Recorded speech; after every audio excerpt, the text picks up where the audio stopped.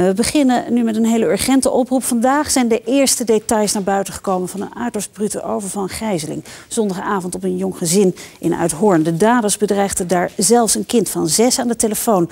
Mevrouw Lust, wat is daar gebeurd? Ja, een heftig verhaal. Het gezin woont aan de Willem de Vesweg in Uithoren. De vader des huizes, een ondernemer van 41, kwam daar zondagavond rond kwart over elf thuis. En op het moment dat hij zijn voordeur opendeed, vielen vier of vijf in het zwart geklede mannen met hem binnen. Waar ze hem in de hal vastbonden en bedwelmen. Zijn echtgenote komt dan op het tumult af en ook zij wordt vastgebonden. Hun dochtertje van zes wordt door de mannen uit bed gehaald en voor hun ogen bedreigd.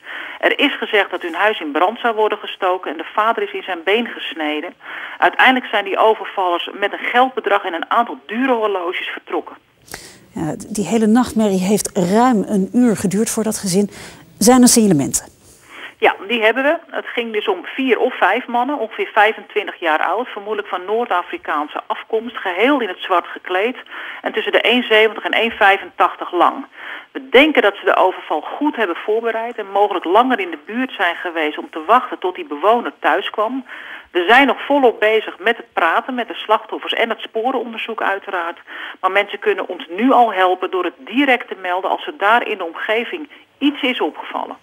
Dank voor deze eerste toelichting, mevrouw Lust. En voor u thuis dus. Die overval was afgelopen zondagnacht. Begon rond kwart over elf en eindigde na middernacht op die Willem de Versweg in Uithoorn.